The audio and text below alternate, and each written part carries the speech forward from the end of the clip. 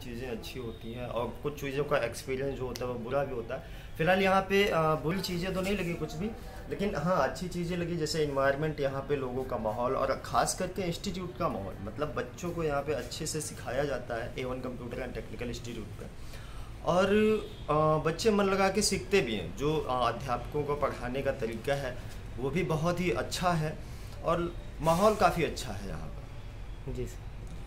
अच्छा सेंटर के बारे में क्या कहना चाहते हैं सर? कुछ यहाँ जैसे लैब वगैरह देखिए सेंटर की सबसे बड़ी खास बात जो है वो स्पेसिंग है यहाँ की कि स्पेस यहाँ पे अच्छा है। और प्रैक्टिकल जो भी चाहे वो कंप्यूटर का आप ले लीजिए या फिर जो भी टेक्निकल चीज़ें हैं उनका ले लीजिए प्रैक्टिकल बहुत ही अच्छा करवाया जाता है। मतलब कि प्रैक्टिकल हम लोग तभी करते हैं जब हमारे पास सारे साधन उपलब्ध होते हैं।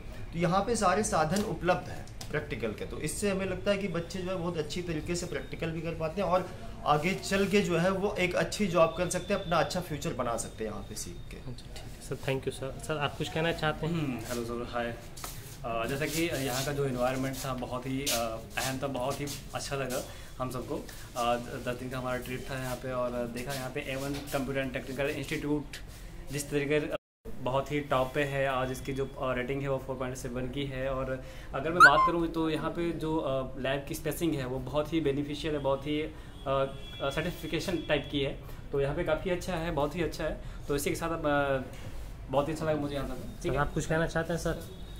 सर मैं यही कहूँगा इंस्टीट्यूट के बारे में कि सर हमने ये देखा कि मतलब फ़ील्ड पर जब हम लोग हम चार लोग टीम के साथ में जब हम उतरते थे फ़ील्ड पर तो जब आपका नाम सर बताते हैं तो काफ़ी दूर दूर तक आपकी चर्चाएँ हैं और लोग कहते भी हैं कि सर वहाँ का जो इंस्टीट्यूट है वो टॉप नंबर एक पे चल रहा है मतलब। वहाँ पे टेक्निकल चीज़ें तो सिखाई जाती है साथ साथ में ड्राइविंग और ये कंप्यूटर का जो भी चीज़ है सारा सिखाया जाता है और मास्टर जो भी है मैम वगैरह जो है पढ़ाने में अच्छा सारा कुछ है।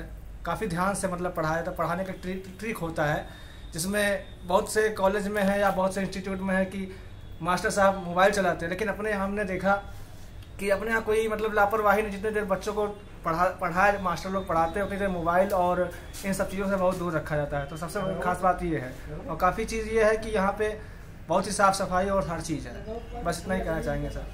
Thank you sir thank you